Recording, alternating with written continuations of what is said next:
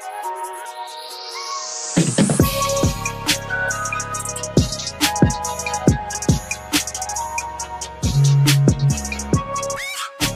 What's up, you guys? So it's your girl, and today's video is brought to you by me, but it's featuring Laki Hair.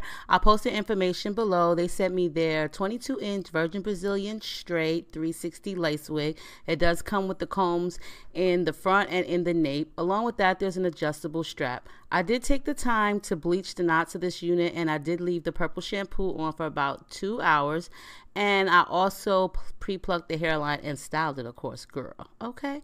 So right now, I'm just trying to see how this wig is going to fit. Do I need to cut any of the excess lace from the sides? Does is it going to fit properly? And I'm also trying to see do I need to spray any of my tinting spray, which I'm going to be using the color beige and the tinting spray by Wig Extensions and I'm also going to blow dry it. You can either use this product wet, like when you finish washing your wig and allow it to air dry, or you can do like I did. I actually really do like the tinting spray because it makes a world of difference and it does come in a variety of colors, plus it's really affordable.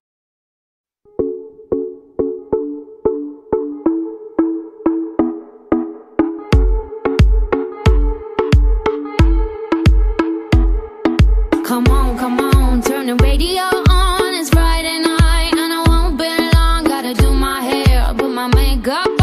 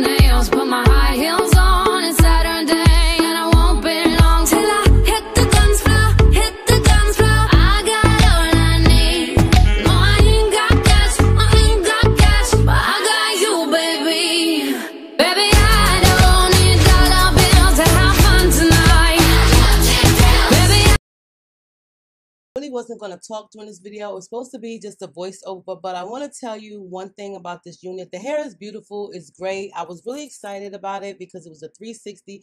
You know what you say, save the best for last. So this was like the third video that I reviewed today, and I wanted to save this one because I really wanted to rock this wig. It was a 360, you know what I'm saying? But come to find out, the combs, for one, are positioned in the wrong spot okay and the wig is like not fitting properly so it's like all the way up here. I'm not sure if i remove the combs will that make a difference but from what i'm noticing it's really not because it's snug on my head and it's not even has anything to do with the adjustable straps but you know i will say for the future for this company that I hope that they make a little bit more room for their caps or just do the measurements more properly because there was a lot of lace, like excess lace on the front, like a lot.